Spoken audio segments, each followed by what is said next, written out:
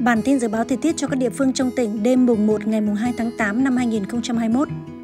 Vùng đồi núi thấp, nhiều mây, đêm về sáng có mưa, mưa rào và rông rải rác, có nơi mưa vừa, mưa to, trưa chiều giảm mây, trời nắng, gió Nam cấp 2, nhiệt độ từ 26 đến 33 độ, đoàn trung bình trên 85%. Vùng đồi núi cao, nhiều mây, đêm về sáng có mưa, mưa rào và rông rải rác, có nơi mưa vừa, mưa to, trưa chiều giảm mây, trời nắng, gió Nam cấp 2, đêm về sáng trời lạnh, nhiệt độ từ 21 đến 28 độ, độ ẩm trung bình trên 90%. Thành phố Lào Cai, nhiều mây, đêm về sáng có lúc có mưa, mưa rào và rông, trưa chiều giảm mây, trời nắng, gió Nam cấp 2, nhiệt độ từ 26 đến 33 độ, độ ẩm trung bình trên 85%. Khu du lịch Sapa, nhiều mây, đêm về sáng có lúc có mưa, mưa vừa và rông, trưa chiều giảm mây trời nắng, gió nhẹ, đêm về sáng trời rét, nhiệt độ từ 17 đến 21 độ, độ ẩm trung bình trên 90%. Khu du lịch Bắc Hà,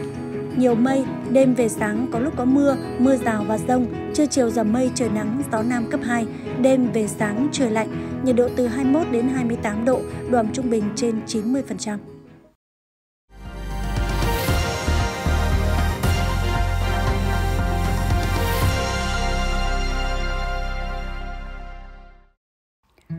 Thông tin thời tiết các khu vực trong nước đêm mùng 1 ngày mùng 2 tháng 8 năm 2021. Phía Tây Bắc Bộ, nhiều mây, đêm và sáng có mưa, mưa vừa, mưa to, có nơi mưa rất to và rải rác có rông. Sau có mưa rào và rông rải rác, gió nhẹ. Trong mưa rông có khả năng xảy ra lốc xét và gió giật mạnh, nhiệt độ từ 23 đến 34 độ. Phía Đông Bắc Bộ, nhiều mây, đêm và sáng có mưa vừa, mưa to, có nơi mưa rất to và rải rác, có rông, gió nhẹ, nhiệt độ từ 24 đến 34 độ.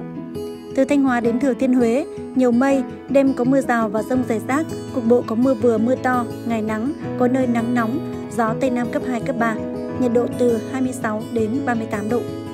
Từ Đà Nẵng đến Bình Thuận, có mây, chiều tối và đêm có mưa rào và rông vài nơi, ngày nắng nóng, gió Tây Nam cấp 2, cấp 3, nhiệt độ từ 26 đến 39 độ. Khu vực Tây Nguyên có mây, có mưa rào và rông vài nơi, chiều tối và tối có mưa rào và rông rải rác, cục bộ có mưa vừa mưa to, gió Tây Nam cấp 2, cấp 3, nhiệt độ từ 21 đến 32 độ. Các tỉnh Nam Bộ có mây, có mưa rào và rông vài nơi, chiều tối và tối có mưa rào và rông rải rác, cục bộ có mưa vừa mưa to, gió Tây Nam cấp 2, cấp 3, nhiệt độ từ 24 đến 34 độ. Khu vực Hà Nội, nhiều mây, có lúc có mưa rào và rông, cục bộ có mưa vừa, mưa to, gió nhẹ. Trong mưa rông có khả năng xảy ra lốc xét và gió giật mạnh, nhiệt độ từ 25 đến 34 độ.